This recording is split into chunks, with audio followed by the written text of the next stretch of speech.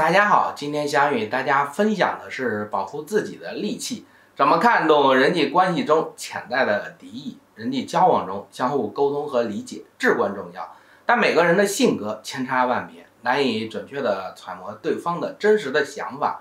在交往中，一些行为可能会暗示对方对你的讨厌。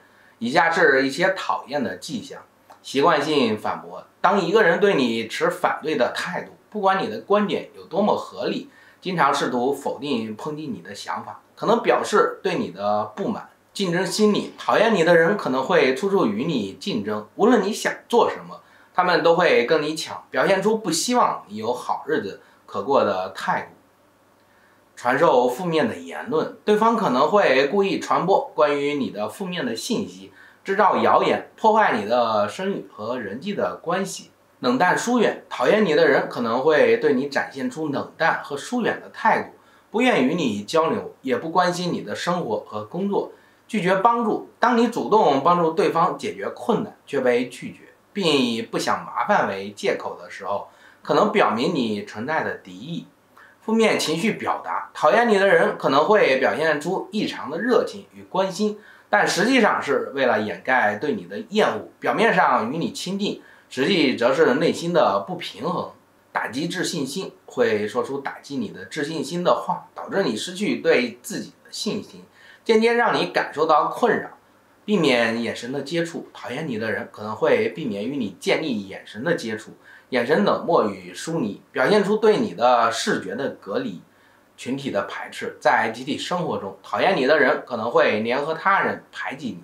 通过传播负面的信息，引起集体对你的怀疑和攻击，忽视你的存在。讨厌你的人会表现出对你的存在毫不在意，不管你做什么都不会因你而动摇，表现出对你的看不起。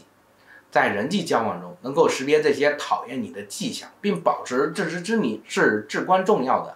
不要过分的纠缠讨厌你的人，保护自己，珍惜那些真正对你好的人。记住，待人真诚，尊重彼此的感受，是维护良好人际关系的关键。自己的价值要清晰地认识自己的环境，并保持一些自知之明，避免把自己看得过高。理解在别人眼中，自己可能并不如此的重要。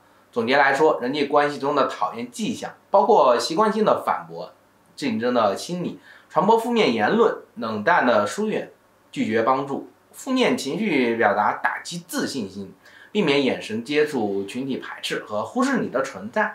对于这些迹象，我们应该以理智的和自保为主，避免深交讨厌你的人，保护自己的情感和尊严。在人际交往中，真诚和尊重是最基本的原则。